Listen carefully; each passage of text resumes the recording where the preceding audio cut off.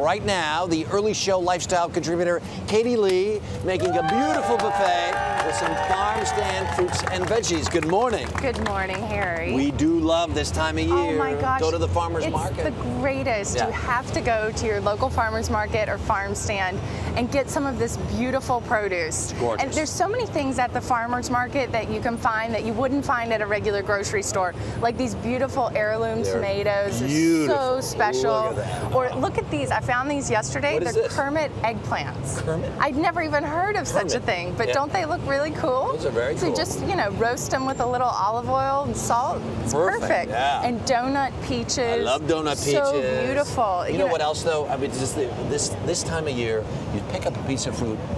You s- smell so good. It's not the thing that's been refrigerated all winter It's long. wonderful. It's so much better environmentally speaking, Ah, also yeah.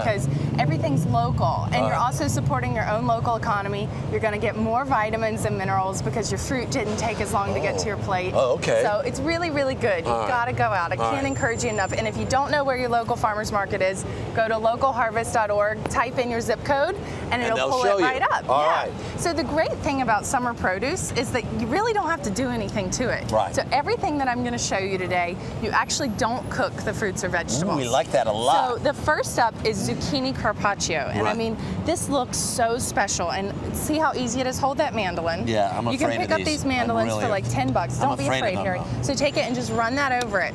Okay, see the zucchini how it comes out just like a little paper chip, and you just kind of layer them over each other. Harry, did you cut yourself? Oh no. I told you. Oh no, Harry. Oh no, I injured Harry. Mm. Okay, all right, so a little olive oil. Are you okay? Do we need to get a band aid?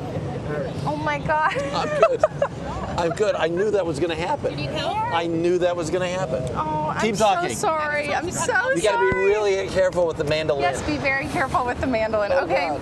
Next up is our tomato. This is a first, I think, for one of our Okay. early You need to you need to go I'm get gonna a go get a bandage. piece of ice. I'm gonna Oh hang out gosh. with Katie. This is really, Okay. really bad. I am Well, not hi, touching Erica. any of your kitchen tools. Okay, I won't ask you to grate any Parmesan or anything. Okay, so chopped tomatoes Yep. with olive oil and some garlic. Mm-hmm. That's all you do to it. You don't cook it.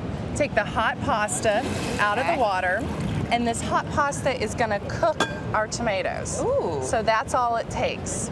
I can tell you, I think I can. I smell the garlic, but I think I smell those tomatoes too. They smell I so love good. fresh tomato and if you want to, this requires no um, cutting or anything. If you want to tear some basil it. leaves in there, that's nice Fresh and easy. basil, So some of my favorite summer things. And some fresh Parmesan cheese. This tastes really good, just room temperature Mm-hmm. or cold. So it's really good if you're going to a barbecue and you want to take something with you as a Smell side dish. basil, too. And that kind of doubles as a main if anybody's a vegetarian. Perfect. So down here we have a corn salad. I don't even cook the corn. It's so sweet right now. Do you just chop it right off I raw? just chop it right off, and if you put your corn in a bowl like this and slice it, Yes, because we're all about safety tips now this morning. Everything goes right in. I know, I feel so bad. Poor Harry.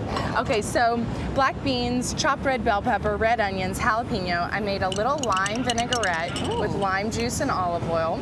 It all goes in together. You could put some avocado in there if you want, stir it up. There we go. And then I've got some macerated peaches and plums. Just slice your plums and peaches, add some sugar to it, let them stand for a couple hours, Mm-hmm. and they make their own juices, this beautiful syrup over vanilla ice cream. We're and in. That's all. We are going to test it all out in just a moment.